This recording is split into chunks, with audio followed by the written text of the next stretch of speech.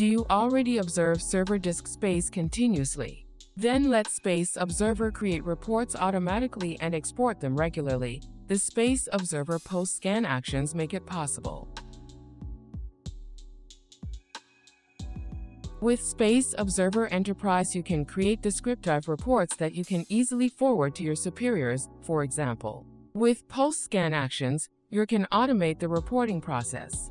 To set up a new post-scan action, open the scan settings in the scan ribbon or via the small icon next to your target path.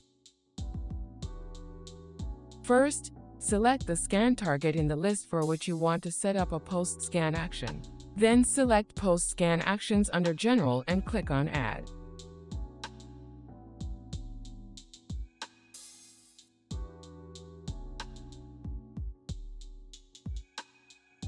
Now configure your report individually.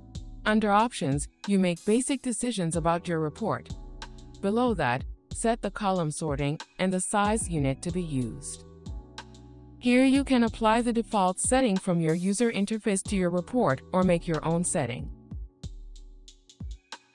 You can also set the expansion of your report to the level you need them to be. Here's a quick tip. Depending on the use case, you should define a limit so that the report remains clear. Of course, you can also filter out certain files here from the start. For example, if they are too small, configure a filter here that fits your needs.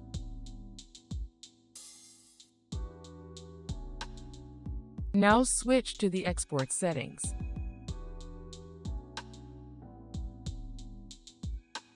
Besides setting a generic name, which for example carries the date of the scan, you can specify different export formats here.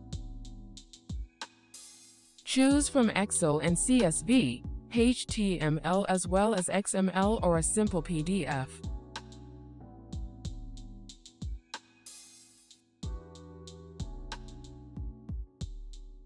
Very handy, in addition, you can also have the report sent to you by mail as soon as the scan is completed.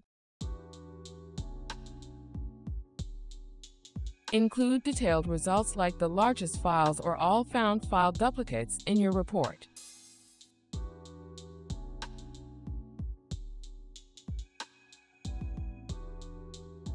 Reports only become really informative with a suitable graphic. Choose from various graphics, for example pie charts, tile charts, bar charts, or even a history. A small tip for power users, SpaceObServer gives you the finished scan settings also as command line. You can simply copy this command to the clipboard or save it directly as a batch file to a suitable location. That's it. All that's missing is a suitable name for your new post-scan action, and you're done. Scan actions can then be viewed in the list. Here you can also change or delete them later. SpaceObServer now automatically creates an informative report for your regular scan. Do you want to try the post-scan actions on your own server? Then try our free 30-day trial version for SpaceObServer.